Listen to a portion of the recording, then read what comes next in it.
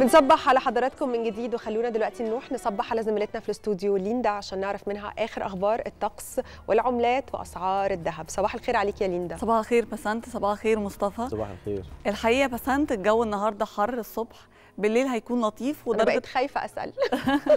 هو حر. وابتداء من اليوم الأحد هيكون في ارتفاع تدريجي في درجات الحرارة. وبالليل هيبقى لطيف. كويس. OK. معقول. طب تعالوا نشوف. التفاصيل. يلا بينا. صباح الخير عليكم مشاهدينا دلوقتي. تعالوا نتابع مع بعض متوسط أسعار صرف العملات الرسمية والبداية هتكون كالعادة مع الدولار الأمريكي وسعر البيع البيع والشراء.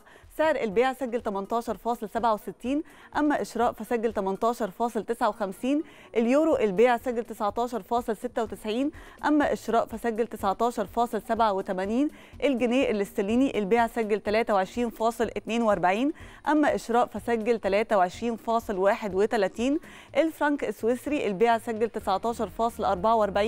أما الشراء فسجل 19.36 هنروح لليوان الصيني البيع سجل 2.79 أما الشراء فسجل 2.78 الريال السعودي البيع سجل 4.98 والشراء سجل 4.95 الدينار الكويتي البيع سجل 61 جنيه وقرشين أما الشراء فسجل 60.74 وأخيرا الدرهم الإماراتي البيع سجل 5 جنيه و8 قروش والشراء سجل 5 جنيه و6 قروش.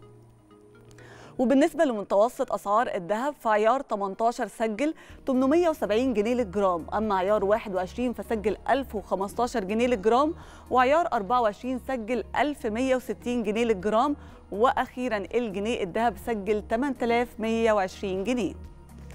خلونا دلوقتي مشاهدينا نستعرض مع حضراتكم جولة سريعة عن أحوال الطقس.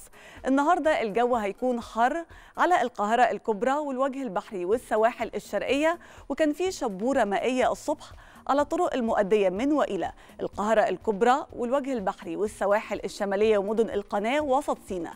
درجة الحرارة في القاهرة النهاردة 34 وأعلى درجة حرارة هتكون في إدفو 41 وأقل درجة حرارة هتكون في مرسى مطروح 28 هنتابع مع حضراتكم أحوال الطقس بالتفصيل في النشرة الجوية ولكن بعد شوية.